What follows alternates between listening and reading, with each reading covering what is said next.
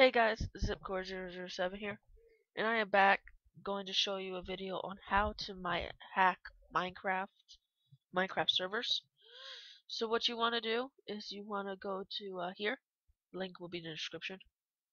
It's uh it's called Nodus. It's the easiest one I found. And once you download that, install it as a version to your Minecraft, and it'll look like this it should say Nodus down here. If it doesn't say Nodus, go to your options and up here it'll be Nodus on or off. Click that on. So then you can go into Minecraft servers and a cool feature is if you click account settings, enter in a um, Minecraft username and if it's exactly the way it's supposed to be spelled, you can play as that character. Like you'll pop up as them. You will be them and so you can join other servers. Let me join this one. And for me, it's press Y. I don't know what it is for you guys, but press Y.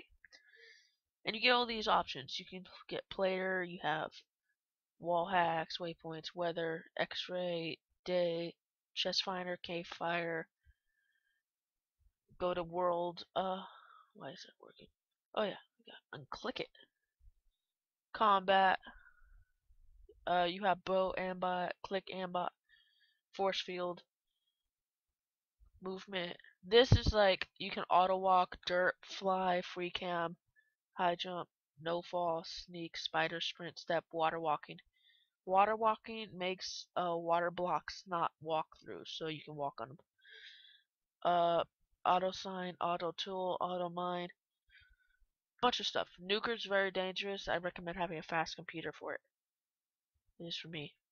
And then uh, let's just unclick this. Can you uh? It's not letting me do that. That's basically it. You can experiment around with it by yourself. It's very easy to use, free, and that's about it. Zipcord007 out.